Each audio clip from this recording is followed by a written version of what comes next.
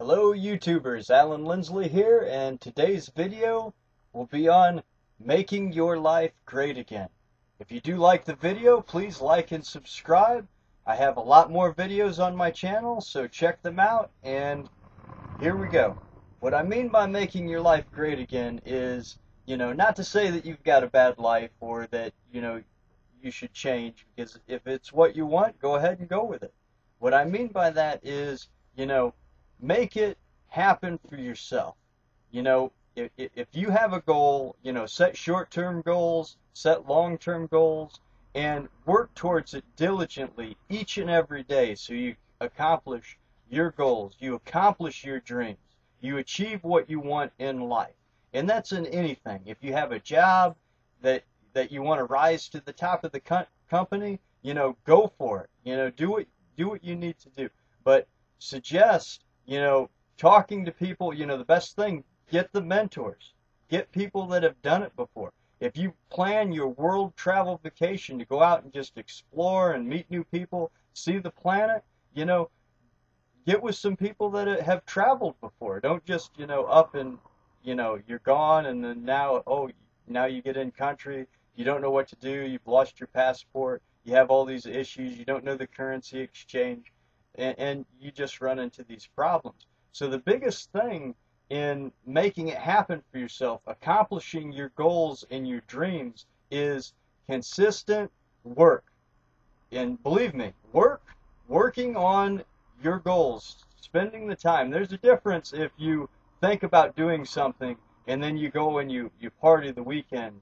Vice, you know, okay, you plan to do something, open up a business, world travel, self improvement, you know, going out meeting new people, spending time with family. You know, you have to set time aside for that. You know, if you just think about doing something great and that all it that is all it is is a thought, well, it's either not going to happen or it's going to happen poorly or not be as great as it could have been. And a good example is if you plan on, oh, I want to open up a business, I want to be a successful business person, and achieve financial independence, well, then, you know, partying over the weekends, Friday, Saturday, and then recovering on Sunday, and then coming in feeling like crap on Monday, you know, that might happen. It might happen for you, but it's going to take a lot longer than vice. You know, you put 100% effort into it. You know, instead of going out and partying on the weekends, you went out and you worked Friday, late Friday, you got up early Saturday, went hit it again, you know, all day, you know, put a, a tremendous amount of time into it when you could have just chose to do something else.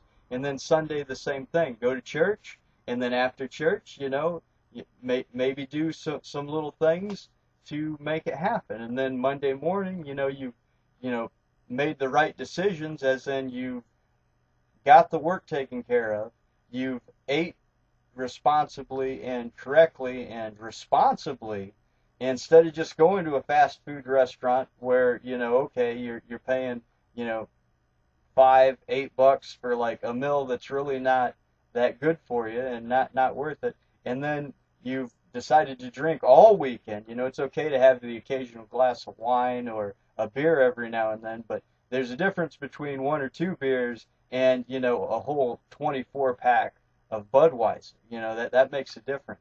And then when you Monday morning does roll around, then because you've taken care of yourself and because you've given yourself more time into something that you want to accomplish, you know, you're fresh for the, uh, or it, you're still probably going to be tired because you put more work, effort, and energy into it.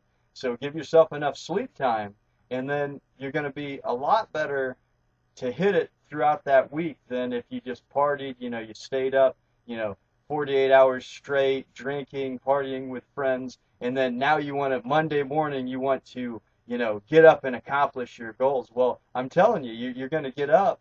You're probably not even going to get up. And then you're going to wake up like 3 o'clock Monday afternoon, and you're going to be like, oh, why is my, my life so terrible? Why am I broke? Well, you partied over the weekend, you didn't really do any work, and you know, here comes, you know, work time and, you know, you missed work because you were so hungover, you know, and then you got fired, you know. So th- th- that's a difference. So just, I mean, think through some of this stuff. Just instead of just doing something, think about the consequences.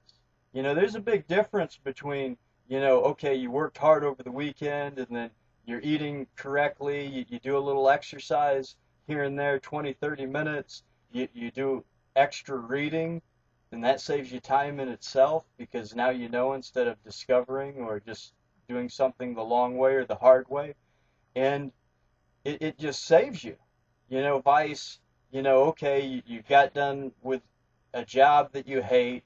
It's Friday, and now to vent, you know, to, to let all the stress out, you're going to go out partying and drinking, which you, all the money you just worked for is going towards alcohol. You know, for a couple of days, that's like a short-term fix. You know, I, I'm talking, you know, you really want to do a long-term solution.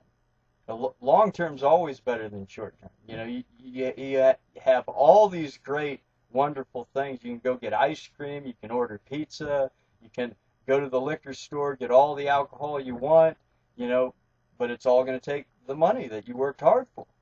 So, you know, now you don't have any savings. So, you know, in achieving the things you want to achieve, just sit back and, and before you do it, just think about it. You know, what's this going to be? Okay, go go through your day. You know, notice if you go through your day and you don't just you just do things. You don't keep track of anything. You know, and, and add that up. Just think about every you know gas station you've stopped at, every fast food place you've stopped at. You know, and then at the end of the day, total that up. Well, then think if you planned it. Planning is great. You know, if you plan a couple meals where you're going to eat a healthy restaurant, you know the the cost instead of just showing up and oh you're you know t- 10 20 30 bucks turns out the restaurant was 130 because yeah they brought you some fancy food it tastes good but it was small portions and really kind of a rip off you know it, well let me let me tell you they got you because they're working hard and they know what they're doing and they they got your money and you do not have it so you know, again, I'll leave you with that. I won't go too long into the video, but it's just be cognizant about what you do. Plan what you what you want to accomplish. And when you do that, you you'll be amazed. Instead of just blatantly oh waking up and just because you got done partying, you know, Friday and Saturday and you just wake up and you have no plan and you're just kind of stumbling through the day, that's not the way to go. Get up early cuz you know you went to bed early and that gives you the time and think about what it is you're going to do for that day. And then that leads into what you're going to do for the week and what you're going to do for the month and what you're going to do for the year. And as you get better at these things, then you can really do some devastation, as in bringing great quality into your life. As you have a solid plan, you've researched, you've made connections, you've made friends, you, you're around people that love and care about you and support you. So I'll leave you with that. Have a good day.